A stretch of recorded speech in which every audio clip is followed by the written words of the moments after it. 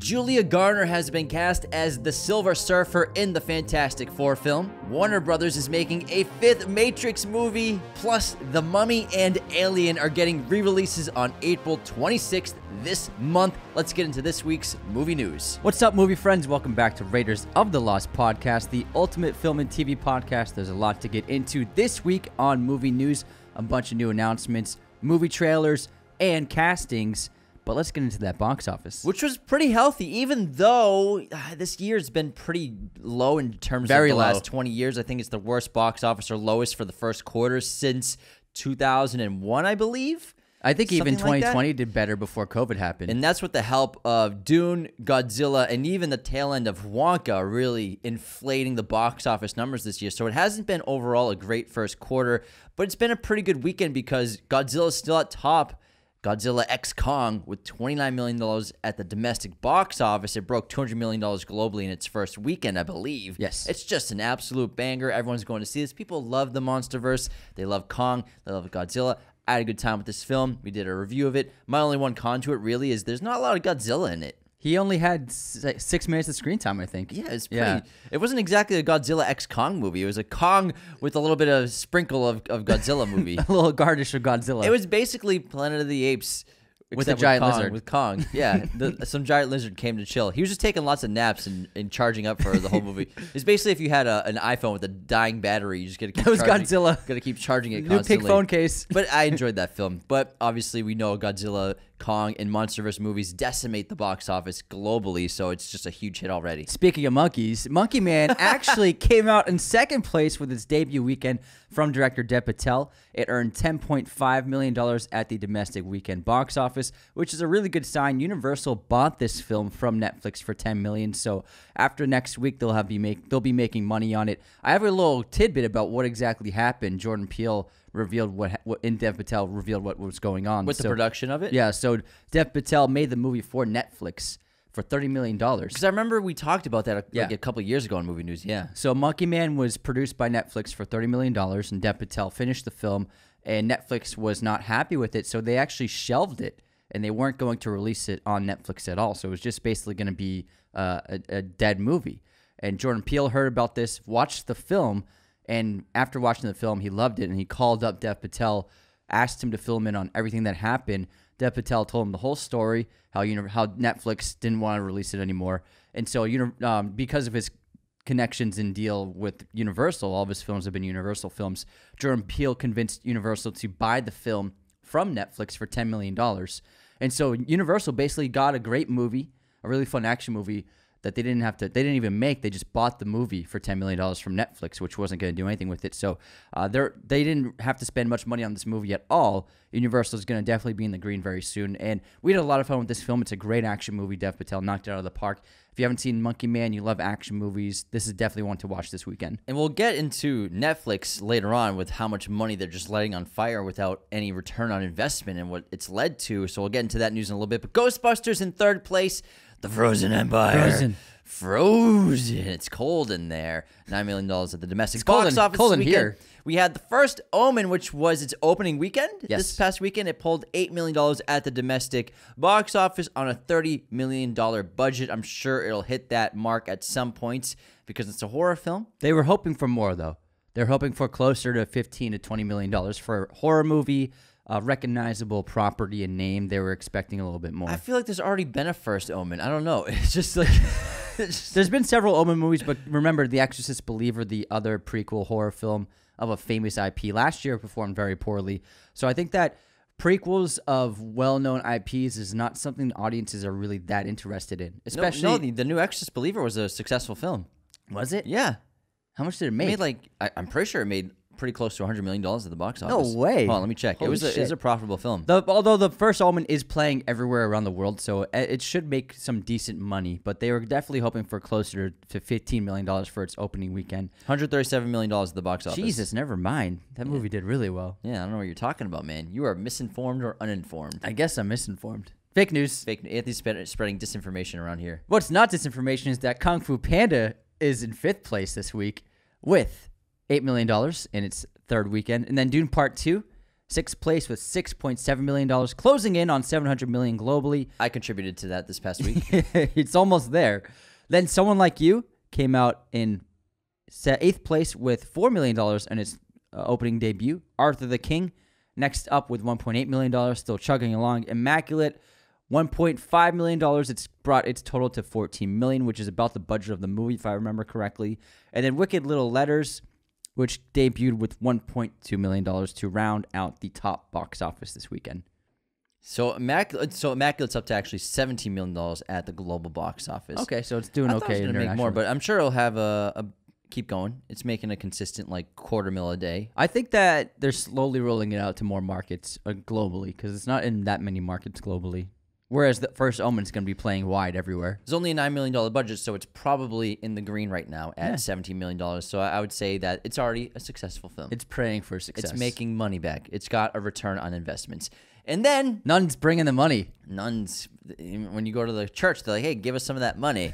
give us some money with these baskets." Let's get into uh, the movie news. So this week we have CinemaCon is happening. All the biggest studios will be there talking about upcoming projects, releases. Some trailers will be dropped. Some of it will be secretive. So you only hear about it. Some of it will get released to the public. CinemaCon's always an exciting part of the year, and I'm sure movie news next week will be stacked with tons of new intelligence from the film and TV community. Film Intel. Film intel. I like it. And uh, however, I heard, I believe Sony, Columbia Pictures, will not be at CinemaCon this year. Oh wow! But everyone else will be there. Paramount will be there. Warner Brothers, Legendary, I'm sure. And I everyone probably wanted to go for Spider-Man content, but now they're not getting any. And then I God know damn it! there's going to be a James Cameron exhibit for the art of James Cameron. Going, I'm, there's a big exhibit about all of his movies, Mm-hmm. which would be cool if you're attending. I would definitely check that out if I was you. Now, the one of the biggest stories of the week is Fantastic Four. Two bits of news. First of all, Julia Garner has been cast as the Silver Surfer in this adaptation of the property. And remember, the Silver Surfer was the villain of the second Fantastic Four in like 2007, mm-hmm.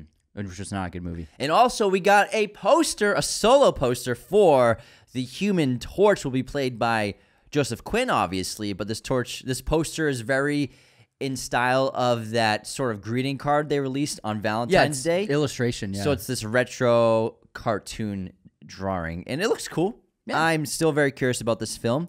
I'm holding my breath on it because they are still yet to, I think, make a solid, a good Fantastic Four. Actually, I don't hate the original, but I'm sure if I watched it now, I probably wouldn't like it that much. we liked it as kids, but I'm sure it's not as good as Haven't seen it since. Didn't love the reboot they did with Miles Teller and Michael B. Jordan, but Oh, I I, f- I always forget about that. yeah, but I think I think they could have something on their hands here. This cast is getting better and better by the day, and I can't wait. I wonder if Silver Surfer will be the main antagonist of the film, or if there'll be another one, maybe a couple antagonists like they usually do in Marvel movies. Maybe they'll set up Doom. That'd be pretty cool. Maybe they'll set him up. That'd be pretty 'Cause they- cool. that's my guess with that film. I think they will because I think Doom will be the main villain once they connect the MCU and X Men and everyone together. Without Kang, there will be the replacement. Yeah, Yeah, so I think Doom might be the big, big bad, the next Thanos going forward. probably. We'll Should see. be. That'd We'll be a good see. pick. Be a good pick. And who would you get to play him? Um, someone cool as fuck. That's who you would get. That's who you would get. So, there's some news. You all asked for this. I really don't we want to bring all, this up, we all, but especially after last year, we begged for this. Warner Brothers are making a new Matrix film. Yay! Another Matrix film. This will be a fifth film in the Matrix universe.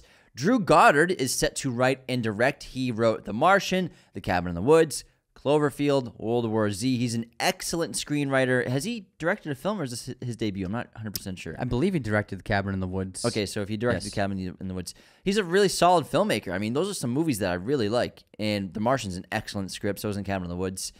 But do we need another Matrix movie? Probably not. But apparently, he brought a new idea and a new pitch to Warner Brothers that they liked a lot.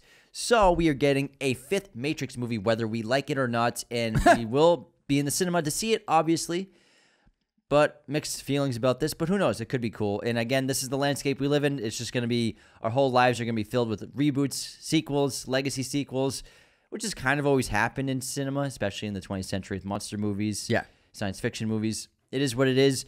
I think at this point, we all just have to start accepting it, which sucks. But at the same time, We can't control. it. We have no control over this. We Yeah. just have to. We just have to see them and enjoy it. Hoping, hopefully, they're good. So Drew Goddard also directed Bad Times at the El Royale, which was kind of a step down from the great, sensational Cabin in the Woods. But he's also been a writer and producer of the Daredevil TV series, The and Netflix and, one? and created it, helped create it for the screen. So for- I mean, he's a great filmmaker. Yeah. Clearly, we'll see what he's got. World War Z is good, and he wrote a ton of episodes on Lost, and he wrote Cloverfield.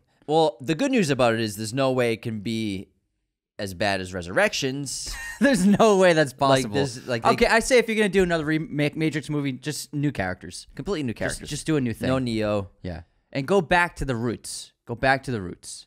Maybe it'll be a. Maybe it'll be an origin of the war of humanity versus machines, Matrix Origins. which would be pretty interesting. Maybe it's about the first people to plug in. yeah, plug it in, plug it in. Drew Goddard's listening, like, oh my god, that's my idea. How do you This is a find great out? idea, guys. Is, is he logged? Did he hack my computer? Keep talking, guys. Keep talking. That's what I would do if I was gonna make a new Matrix movie. I'd go back to the war. well, you could do the first one, Yeah, the you could- original one. But I would do the war on Earth. Yeah. I would go on Earth, but then also plugging in for the first times to experiment to see if you can hack the system. Yeah, I think the, movie would should end with. No, yeah, A the- war with the first hackers Yeah. of going into the Matrix, uh-huh. both at the same time, while they're being pushed underground by the machines. But the original one woke up the first people. yeah, So we get you got to get the original one in there. you don't have to. I would do the war. Yeah. You're like war. No, I think it'd be cool. Yeah, but you need to have the program. I know the program's already being created to an Uh-huh. extent. Yeah. So okay, so, So remember what Morpheus says. He says uh, there was a, a person born within the Matrix. He, he Yeah, yeah, the no. first one, and the they movie. they woke the first of us up. yeah, yeah, yeah. So what happens is Morpheus gives Neo a choice: the red pill or the blue pill. I'll throw my laptop off your face and ruin this episode. Anyways, that's how I, I would do a war. Anthony would do the first cycle of the Matrix. Moving on to the next bit of. Warner Brothers. I'm honestly, I, I don't, I, I don't know, but um, this is some good news though. Dune three, Dune Messiah has officially been confirmed, officially as in development from Legendary Pictures. But we knew this was going to happen because Denis said last week that they're almost done with the script, Mm-hmm. and at some point it's going to get made if it gets greenlit. But it's pulling You really think Denis would write a screenplay and Legendary would be like, no, we don't really feel like doing it. No. You really still on this Dune thing, bro? Dune Part Two is cool, but get, o- get over it, Denis. Get over it. and Legendary, obviously a great production company, will be producing that with him. So that's awesome news. We all saw it coming. We have no idea when it's going to get made. I'm sure they'll probably do a little time lapse, so maybe maybe five years. I'm guessing, Yeah, yeah, yeah. something like that. Because I think Denis is going to do a movie before that. Also, we have a great Denis Villeneuve episode for you on Wednesday, so stay tuned for that. We did a whole director career breakdown of Denis Villeneuve. He was here. I'm just kidding. He wasn't. we should advertise him wish. that Inter- interview with Denis Villeneuve. I can make a thumbnail of him sitting in our set.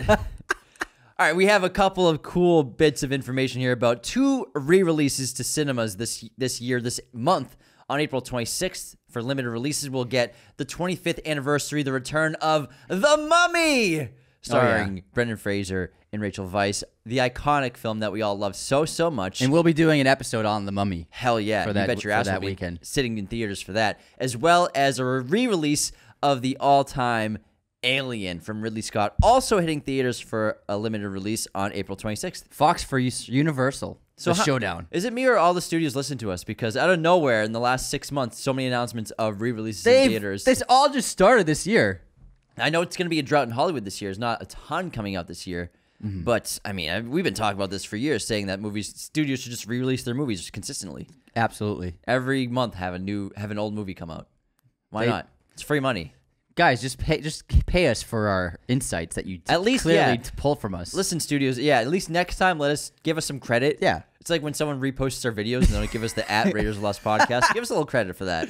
Dude, some people are sneaky. They'll do it in their stories, and it's like they make it seem like they made the I meme. hate that shit. Unreal. All right, want to get into the next bit of Alien? Well, to stay on Alien, yeah. So, Alien Romulus, which is coming out very soon, released an image. We've gotten a teaser trailer. We've got a poster, but now we got a still, and it's just a still of closed doors, which I'm guessing are probably on the ship that the characters are on. The film takes place on, and it says Romulus Labs, and there's a a, a drawing of a lion. It looks like on it too, etched into the doors. So Sounds pretty cool. Some obviously probably experimentation going on this uh, vessel as it's traveling through space is my guess. But I'm very curious to see what this means and what Romulus is, what the Romulus program is in the world of Alien. I bet it has something to do with xenomorphs. Probably It's also a W on the door W. for Weyland. Weyland Yutani. I bet there's a xenomorph behind that door. I hope so. Speaking of n- images, Joker 2 released its official first poster. And it's really great. It's just exactly what I was expecting, honestly. It's uh, Joker and Harley Quinn in this like beautiful musical backlit uh, spotlight behind them. And he's holding her like they're dancing. So I expected something like this. Got a big mixed response online because people are like saying it looks too much like the letterbox posters of where it's the bottom third of the frame. the Oh, yeah. subject is. Yeah, when people the expand at it. the top. Yeah. So I think it's cool. I'm very excited about this. Anthony and I have been on board for Joker 2 since it was announced, and we are very hyped for this. We believe in Todd Phillips and Joaquin Phoenix and Lady Gaga to deliver an excellent sequel to really a sensational film. But people who are critical of the poster, they ref- they forget that the original Joker poster did that. Yeah, with, it's true. With So- Joaquin okay, just yeah, on the bottom it's, of the frame. it's actually exactly like the original it's poster. uh, literally like a, a, a it builds off of the first poster they released of So Joker. the letterboxed posters that fans made with the lower thirds of just the characters, then a ton of space in the center, and then the title at the top was looks like it was inspired by the Joker poster from 2017. I remember came out. that. Yeah, they it, j- and Joaquin's on the bottom of the frame with him dancing. That was one of the early posters they released. So Good looks. all the critics get your facts straight. Just like y'all are upset that it's a musical when there's freaking four musical numbers in Joker. And um, this movie makes it really known that this is a musical. This is this is a great poster. I think. It's and there was really a cool. release of Har- of Lady Gaga. Was she singing or speaking? Some audio was released recently. Oh, really? Yeah. I don't want to listen to it. I, it want to. little- We're gonna be getting a trailer soon. That's definitely gonna happen sometime this week if we just got this poster. I'm very excited. Speaking of an upcoming trailer, so tomorrow, from May 24, MaXXXine's first trailer will be dropping. Finally, they put out a little tease on Twitter, and uh, the world's very excited. Obviously, the year of Ti West continues. Never into ends. 2024. The year of Ti West never ends. I can't wait to see Maxine. I am very excited for this film. I'm really curious to see what they have uh, put together for this film. Nice. Yeah. I'm also very curious about Kingdom of the Planet of the Apes. Now, I saw Dune Part 2 for the third time this past week. I went to 70 mil IMAX to the Universal City Walks, the fucking sickest theater. And before the movie played, after all the main trailers, there was a sneak peek of Kingdom of the Planet of the Apes. I'm sure some of you experienced this as well if you saw Dune 2 in theaters this past week. And it was about a minute long portion of a scene and it looked really cool. And I also found out that this film was almost entirely shot on location. I read that there was just only one blue screen set, and you can tell from the filmmaking when when I saw this clip. And so it looks really cool. It was uh, just one of the main characters, the the young woman who seems to be the lead in the film. Besides the apes, is being rescued by Caesar's descendant from some villainous apes and gorillas, and the filmmaking looks awesome, and I'm pretty excited about this. Very curious, and especially hearing that the whole entire film basically was shot on location. That's awesome news. And Wes Ball, the director, he's he's a solid director. He did the Maze Runner series, and um, those are well executed. And I didn't realize he was the guy who did this. Remember, it was 15 years ago almost. There was this dystopian sh- animated short, and it was about this guy on a motorcycle with like a, a bandana on, and he was like driving through, and he gets chased by like a futuristic helicopter. Oh, yeah, I called- it's remember that. Ruin. Yeah. it, it, like blew up online. It Yeah. got like 30 million views on YouTube because nobody had seen like a animated short like that before because it's very high quality, and he just built like a world. That was he made that on his own. He's like a visual effects CGI expert, and he made that short film. That's what got him the Maze Runner gig. And I totally forgot that about that short until I looked into him. And it's called Ruin. If you haven't seen it, it's a really fun sci-fi short, completely CGI animated that he did entirely himself. Um, I think with also with this uh, tiny team, but it showed his prowess with CGI and visual effects, and that's what got him Maze Runner. That's what blew him up. That's like Gareth Edwards. Yeah. With monsters, right? Yeah, exactly. He made monsters. That's a cool movie. Yeah. He did all the visual effects for it. But um, it's cool. Check check it out. Wes Ball is a talented guy, so I think he was the right choice for this film. It looks like a really good trailer to me. I think it's gonna be sick. We got some more news about Denis Villeneuve because we can't stop talking about this guy. Oh man, He's in talks to direct Nuclear War, a scenario. Now, in our episode on Wednesday, you'll hear us talk about all the rumored projects he's supposedly directing. There's one that's Cleopatra film that's supposedly starring Zendaya. There's a science fiction space film that he might be making. This is one that's new news, but it's not official. He's just in talks to produce, possibly direct Nuclear War, a scenario which is based off a book. It follows the events of what would happen if a nuclear war began based on information from interviews with military and civilian experts. So, I mean, if Denis is going to make a movie, we will be seated day one, obviously, but it's not confirmed. I think, obviously, he's probably the hottest director in the world right now. He can do anything he wants. so hot right now. So I'm sure he's taking his time. You know, they just finished up the press tour for Dune Part 2. It's still in theaters. So I'm sure he wants to, you know, figure it out. He's got his plans. I'm, I'm sure he probably knows, but it, they don't like to announce these things right away. But he's in talks to direct three different movies. I don't know which one it's going to be. It sounds like it's um could be in the vein of World War Z of like getting a realistic response globally of a zombie outbreak, but this time it's a nuclear war and similar to a civil war from A24 of like what would have I think that it's like what would that look like if it happened realistically, True. logistically. And speaking of civil war, A24, which in this film's coming out very soon, A24 dropped the official map of territories for civil war so you can understand how the country is split and divided itself. So there are several factions. So first we have the western forces with the which is the northwest look area of the country for all the way from washington to missouri. And then there's the republic of california and the second republic of texas which are allies. And then the loyalist states which are most of the middle states running from the west to nevada all the way up to the, uh, the northeast into maine and then we have the Florida Alliance, which is most of the southwest, southeast of the country, including Florida, obviously. So there are these different factions, and it looks like the Western forces and Florida alliances are separating themselves from America, whereas the Loyalist states, which will be, like I said, the middle states from west to east, are still loyal to the old America. And then Republic of California and Republic of Texas have divided in joined forces. Yeah, so there are four. Yeah, so I, I got a little confused with the way you said that. Oh, so there's, sorry, yeah. there's four factions. Western forces are California and Texas. They're together. New People's Army, that is the northwest of the United States. So all the way from, it looks like Illinois, pos- or, or what's next to Illinois? Um, so like Wyoming all the way to Washington.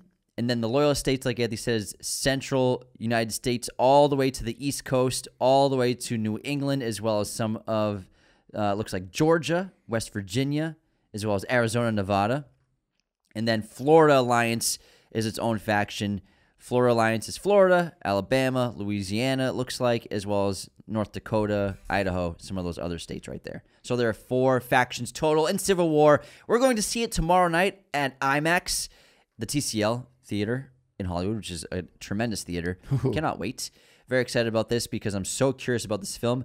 Poor little Alaska looks like they're not even involved. You're right. That I, Hawaii.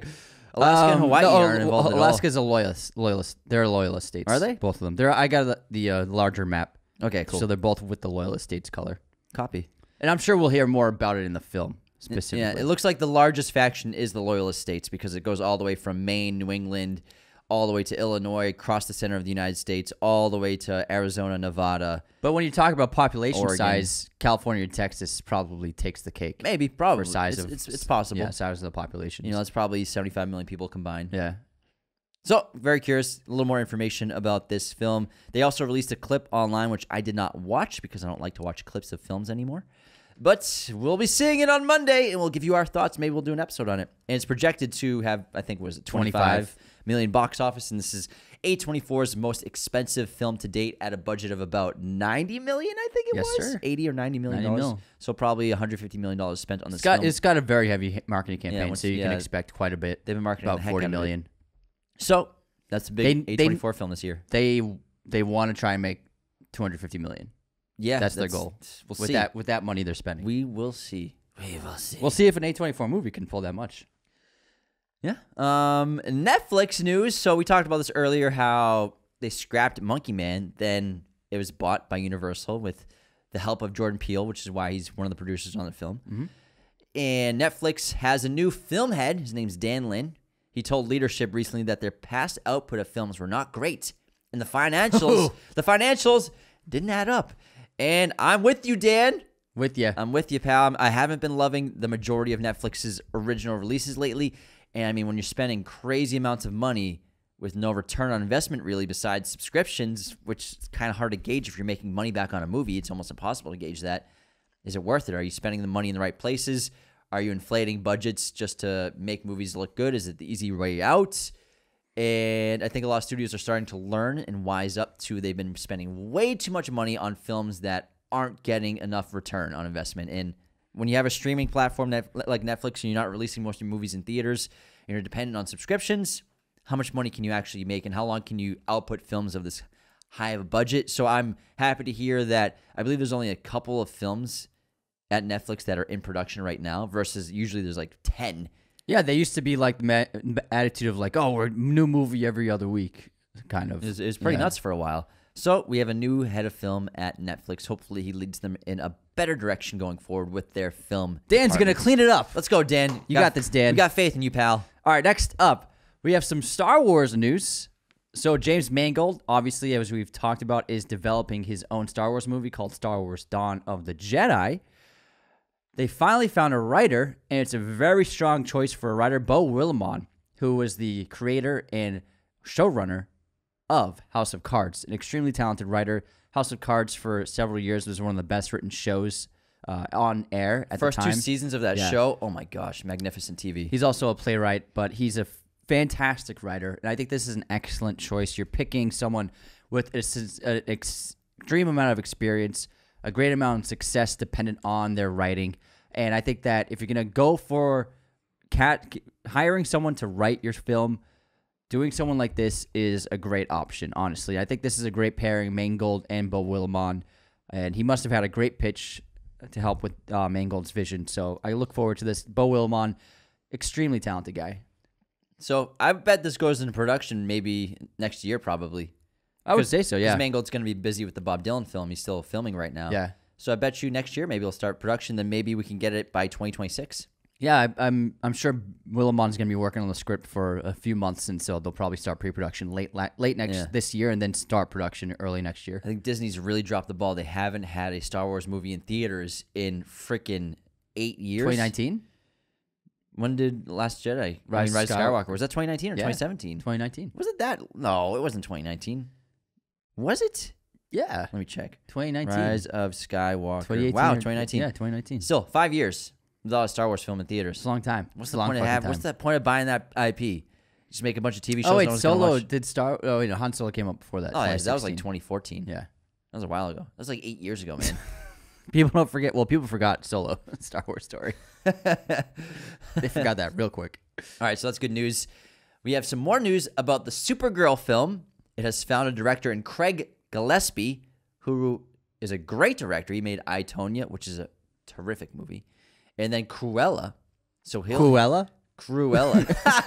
I, was Cru- hop- my name is Cruella de Vil. I hope you wouldn't pick up on that. I was, I was like, while I said it, I'm like, did it sound like a W? It probably did. I am eight years old, Cruella. So Cruella, the Cruella, the Cruella director, will be handling the duties on this DCU project. oh yeah, oh, it's just DC project, not DCU, right? Well, it's the DCU now. No, no, oh, it used to be the DCEU, Yeah. and now it's the Now it's DC. the fuck DCU. you. Yes. it's the DC. Uh, get it? Staying on comic books, Daredevil Born Again released an image shared An by image? shared by Jon Bernthal. It's a behind the scenes photos of him with Charlie Cox and Deborah Ann Woll. And there's also a shot of both him and Charlie Cox in character and costumes, which looks really cool. Uh, so it's cool to see Daredevil with the Punisher. Yeah, I think they're really desperate to get people back on board because people love Daredevil, the TV show from Netflix, and this is a show that wasn't it in production and they're they're redoing. They it? filmed six episodes yeah, last they filmed year six episodes last down. year. They shut it down, so they're redoing the whole show again because it was probably They not did a, great. They did a reset. Remember, they said that people who saw the film, oh, people who were involved in the production, said that Daredevil didn't show up in costume until the fourth episode. which is insane. Yeah, and so with this show, clearly they're giving fans what they want. People just want to see Daredevil and Punisher bust heads. That's all they want. That's want. all we want. We don't need some fucking courtroom drama bullshit. all we Obviously, want. he's a lawyer, so you have to have Sprinkle some, some courtroom- in there. Yeah, but come on, just give us the busting skulls. That's all we want. Just have them beat the shit out of a bunch of guys. That's it. That's, it's really easy. And girls, we don't discriminate. Have them beat the shit out of guys and girls. Just kidding. Just Girls that kidding. deserve it. that deserve it. Murderous girls. Strong, Villainous killers. yeah. They deserve like it. a girl that's about to punch a baby. Have the Punisher come in and beat Break her, her nose. Yeah, yeah, yeah. But that's all we want. It's all we want. It's so easy, guys. Daredevil and the Punisher just fucking cracking skulls. That's it.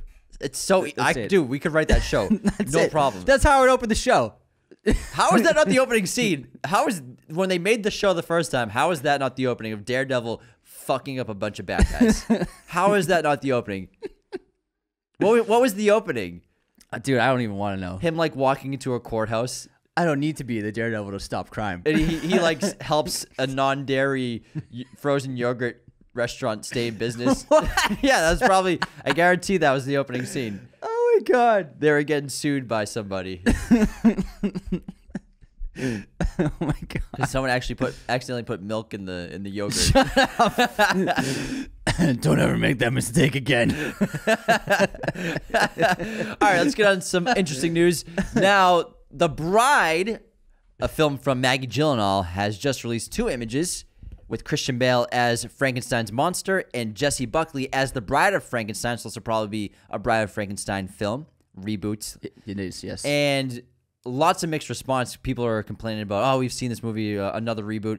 Frankenstein is one of the most made characters of all time in cinema and TV. So I have no problem with getting more Frankenstein movies. We just had Lisa Frankenstein. We got this. We have Guillermo del Toro's Frankenstein coming out. Yeah. That's the way it's always been. And it's sort of disappeared for the 80s and 90s for the most part. But it seems like monsters are back in a big way, which I'm excited about. I love Frankenstein monster and Frankenstein. The, the lore is incredible. Give me all the Frankenstein movies. I'm cool. I'm fine. But and the images look really cool. Images look cool. It looks like she's going with a a new twist on it, and it seems like they'll be much more intelligent, and stylish because both the bride and the monster they have like interesting outfits, and the monster even has tattoos. And it looks like the bride has well so Frankenstein's monster, Christian Bale's character, he's got stapled head, Yeah. which is cool. But then he has his shirt's half open and he has scarring and staples on his chest as well as a tattoo that says hope. Then Jessie Buckley's character as the bride, her shot, her photo, her still, it looks like her cheeks have blood smattered splatter tattoos on her face. That's what it looks like. I think that it's either tattoos or it's actual blood, but they made it black for marketing. But um, you know, Christian Bale wouldn't sign on to something if it. I mean, actually, hold on, he did Thor: Love and Thunder. Never mind, scratch that. What I was Well, about to say. that that, movie was a changed, paycheck. That movie changed a lot in the edit. Yeah. Okay, that's true. heard- that's true. Yeah. Um, I think if he's gonna do something, it would be it's a great project. So I'm in. But he made Thor for his kids. yeah, he did that for his and for the paycheck. I don't think he really needs the paycheck, man. He's in No, yeah, three Batman that's movies. true. He doesn't need it, yeah. He's probably making a five million dollars a year off those movies. Yeah, he's made a lot of money.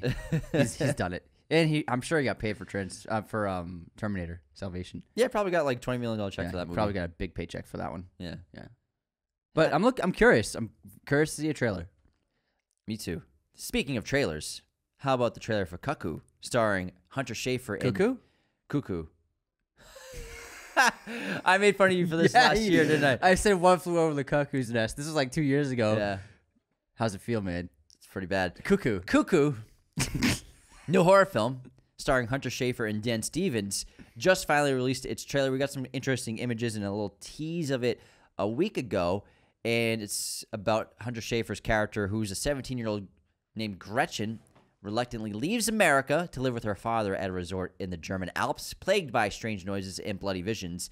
She soon discovers a shocking secret that concerns her own family. Sort of looks sort of like an experimental mad scientist horror film theme I, I'm sensing here. It looks great. yeah, her father Yeah. seems to be sort of a bad guy, maybe, maybe Yeah. not. But it's, it feels like experimentation's going on or something. Turning humans into monsters of some kind. Even it could even be a vampire movie. It looks Yeah. like it could be anything. But I think the trailer looks very strong because I thought it was visually arresting, intriguing, and also I don't even know what's going on, which is Yeah. important. And that shot of her, she's riding a bicycle in the dark as she's running away from or riding away from the hospital, the facility.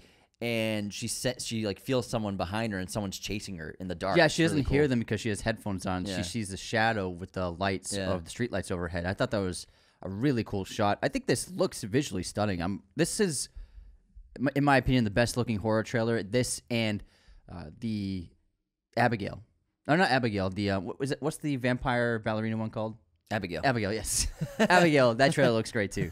I saw Abigail trailer in theaters the other day and it's just it really hits really it's fun, it's exciting. Also stars Dan Stevens. So horror. He's the Scream King right now. Scream King man. right now. Love this guy. Love him. If Love you haven't him. seen The Guest, check it out. He's so good in it. so that both those movies look fantastic. They they look like they're primed to be the best horror films of the year, the two of them. Hey, Anthony, have you been curious about what Mufasa the Lion King is going to look like? Dude, all I've thought about every day for the last year is Mufasa Origins. Well, good good news for you. They released a still of little little cub Mufasa. Oh my God. Sitting on top of a cliff. The first image released in a first look at Mufasa, the Lion King, the origin story of how Mufasa became king, which will hit theaters on December twentieth. oh, he looks very cute. He looks adorable. He does look cute. This movie's gonna make a ton of money. Yeah, it is. Uh, the Lion King remake made 1.6 billion when it came out, something like that. 1.6, 1.7 billion. So one of the biggest Disney hits um, in a very long time. So you bet your ass they're making this movie. Ah, little Mufasa looks cute. Little Mufasa. little cutie. Just want to pet him. Anyways, Tron Ares has officially picked a release date of October 10th, 2025. You can see the film. Starring Jared Leto, Evan Peters, Greta Lee, Jodie Turner Smith, Gillian Anderson, and Cameron Monaghan. And again, not much is known about Tron Ares, so I'm very curious about the film. We do have an image that we got about three weeks ago, which looks pretty cool. Yeah. Pretty promising. So I'm excited about this because we love Tron Legacy, so I hope they don't blow it. Let's move on to some more news. We got a bunch of release dates coming up as well as some casting. So The Chair Company is a new HBO series that will be written and starring Tim Robinson from the great comedy show. Um, what's it called? Uh, fucking. I think you should leave. I think you should leave. Three-time Emmy-winning show. He he won three Emmys for that first season of that show or second season of that show. So Tim Robinson, who might be the most gift, gift video meme person alive right now with his great comedy and his great sequences. His show will be called The Chair Company, and the series will follow a man who finds himself investigating a far-reaching conspiracy after an embarrassing incident at work. Oh, sounds, sounds fun. I think he's one of the brightest stars in comedy right now. He's hysterical. He's got his own niche. He's got his own style. He's really great performer, and I'm curious about the show a lot. And he's hysterical.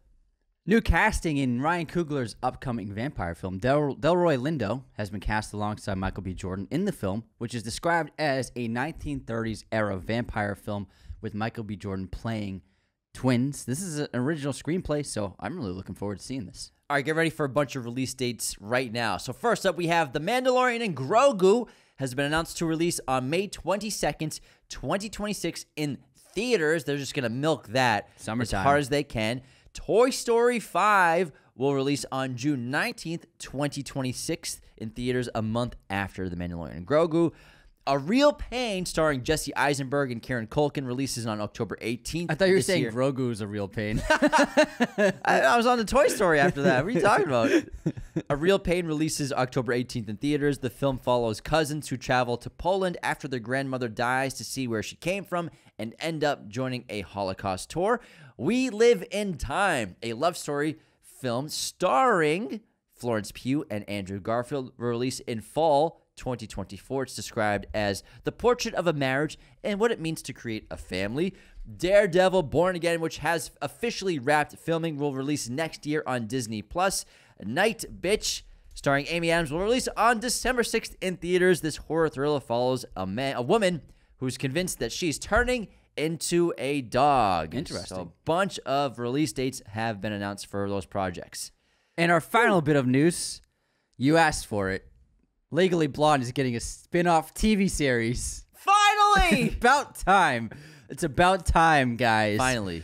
The Gossip Girl creators Josh Schwartz and Stephanie Savage are developing and showrunning the show, and I'm not gonna watch it. It's not my cup of tea. It's too bad. I like Legally Blonde, the movie. But, Yeah, it's a good movie, I yeah. mean, does everything have to be a fucking TV show now? TV show spinoff. Again, like I said earlier, we have to get used to this, man. We have to accept it. There's nothing we can do about it. We have no control.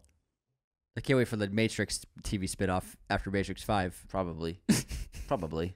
All right, well, that wraps movie news this week. Next week, stay tuned for sure. There will be a ton to discuss after CinemaCon this week. Episodes upcoming tomorrow. We have a great episode on the best horror movies you've never seen. Never seen. And then on Wednesday, like we said early in the episode, we have a spotlight on the incredible career of the great, the prodigal son of science fiction, Denis Villeneuve. Sounds like a job for Spotlight. Spotlight. Spotlight's on it. all right, thank you all so much for tuning into this episode of Raiders of the Lost podcast. Take care and have a wonderful week watching movies. See you next time. Thank you for watching Raiders of the Lost podcast. Be sure to hit that subscribe button, hit the like button as well, notifications for sure. Listen to the show on Apple Podcasts, Spotify, everywhere you can listen to podcasts, and be sure to check out this other content we have on our YouTube channel.